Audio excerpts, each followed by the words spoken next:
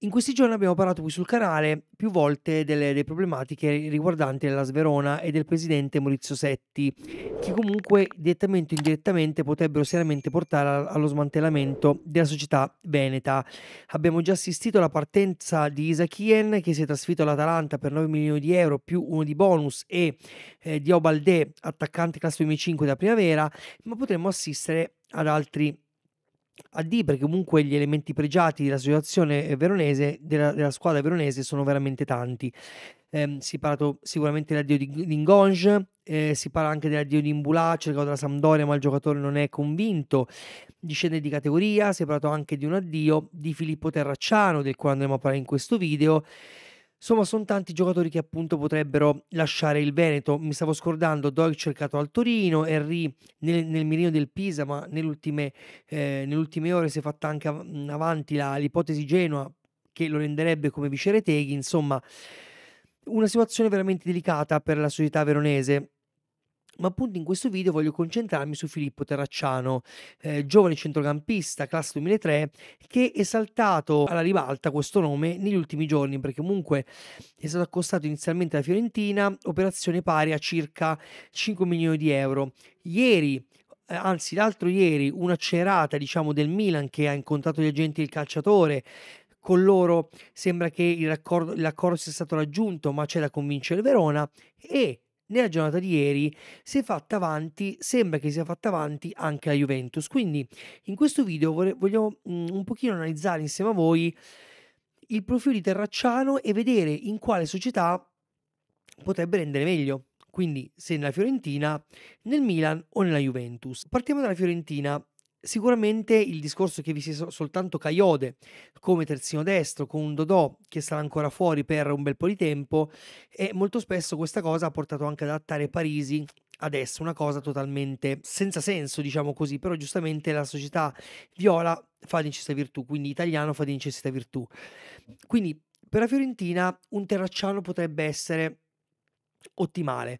L'unica cosa da vedere sarebbe il discorso che lui a Verona è abituato a fare l'esterno tutta fascia, fare il terzino, seppur d'attacco, nella difesa della Fiorentina richiederebbe comunque uno sviluppo di altre skills o quantomeno di un'evoluzione di alcune skills di Terracciano.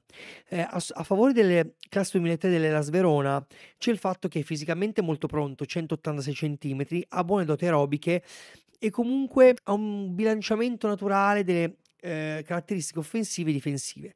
Il problema dove sta? È che fondamentalmente lui è ancora in una fase che sa fare tutto ma niente al 100%, nel senso è un buon esterno a tutta fascia, ha fatto anche a volte grazie alla sua fisicità il braccetto di destra in difesa 3, ha fatto anche eh, la mezzala in un centrocampo 3, però fondamentalmente non è incidente in nessuna di queste posizioni. Quindi, ovviamente, il passaggio eventuale o alla Fiorentina o al Milan o alla Juventus comporterebbe un'evoluzione diversa probabilmente del calciatore in relazione anche a eventuali tecnici che poi potrebbero avvicendarsi Fiore- um, sulla panchina della Fiorentina, del Milan e della Juventus. Alla Fiorentina quindi richiederebbe questo tipo di lavoro, a prescindere che Terracciano sarebbe un investimento ottimo per tutti i club di Serie A. Per la Fiorentina non so, nel senso che tu hai già un giovane quale Caiode da valorizzare, hai un Dodò che è vero, adesso è assente, ma comunque ce l'hai. Una volta che mi rientra Dodò, tu ti troveresti tre esterni destri, come Terracciano, eh, appunto Caiode e Dodò, per un posto. È vero, Terracciano ha fatto anche l'esterno a sinistra e poi lo andremo a vedere in ambito Juventus e Milan, però lui ragazzi, lui è un esterno destro fondamentalmente. Ha spesso giocato lì ed è solo naturale.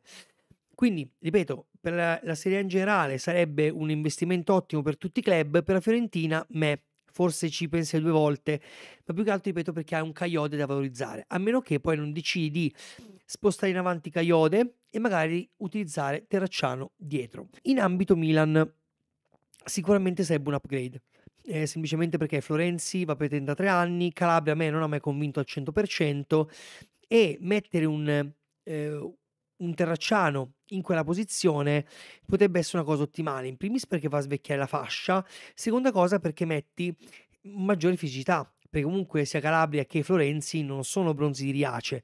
Inoltre, eh, contando che in questa stagione Florenzi è stato per emergenza adattato de- a, anche a sinistra, un Terracciano, ecco, per lui verrebbe un pochino più semplice adattarsi a quella posizione, ma perché in passato ci ha già giocato. Quindi probabilmente sarebbe discretamente funzionale eh, a questa opzione.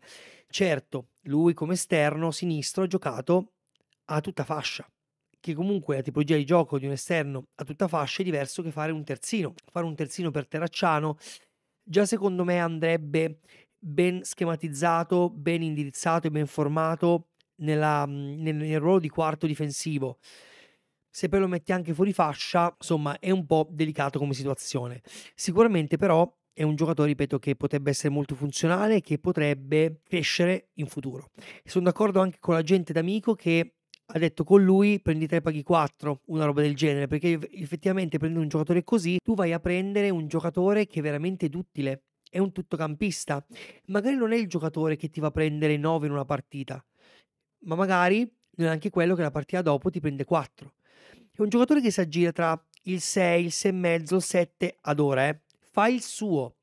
Non lo vedo con la personalità da game changer assoluto, però lui con le sue caratteristiche secondo me potrà fare veramente tanto bene. Capitolo Juventus. La Juventus ha un grosso problema a destra, perché fondamentalmente sulle fasce ha un Kostic a sinistra che è in fase calante, quantomeno in questa stagione.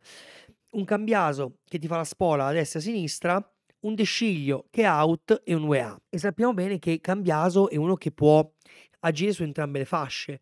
Il discorso di Cambiaso, essendo un ambidestro, può indifferentemente coprire il doppio ruolo. Tenendo conto che la Juventus anche all'in junior, impiegato molto spesso come eh, ala tutta fascia, però lascia la Juventus, eh, verrà trasferito a tempo eh, a, a, titolo definitivo o magari finirà al Monza magari a titolo definitivo con recompra o magari in prestito con diritto d'obbligo di riscatto.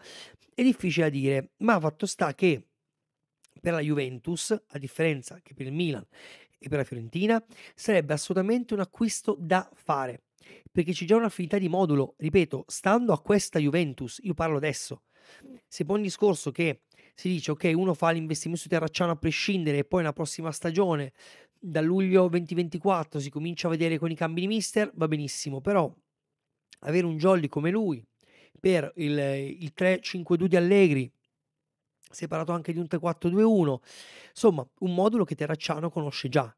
Ecco che fare le coppie UEA Terracciano a destra e Kostic e Cambiaso a sinistra, secondo me sarebbe veramente tanta roba, anche perché ripeto De Sciglio entrerà tra mesi, rientrerà tra mesi, dopo un infortunio molto serio e comunque il giocatore farà 32 anni. Quindi non è più di primo pelo, bisognerà vedere insomma come risponderà anche il fisico del calciatore. Quindi onestamente tra Juventus, Fiorentina e Milan, secondo me Terracciano sarebbe um, un giocatore game changer per la Juventus. Per il Milan e per la Fiorentina sarebbe un giocatore veramente interessante, molto futuribile, adattabile, duttile, ma da formare. Nella Juventus potrebbe fare l'esterno, potrebbe fare il braccetto, potrebbe fare la mezzala, esterno ovviamente a destra e a sinistra, insomma sarebbe maggiormente incastonato in una pietra che ha già i tasselli per i zaffiri. Fossi la Juventus, agirei, nel senso sfrutterei magari il momento con decisione, contando che adesso abbiamo un direttore sportivo molto preparato come Giuntoli, e affonderei il colpo per cercare di acquistare appunto Filippo Terracciano della Sverona magari sfruttando appunto questo momento di grande difficoltà da parte dei veronesi. Fatemi sapere ovviamente qui sotto cosa ne pensate. Vi mando un abbraccione e ciao al prossimo video. Ciao ragazzi!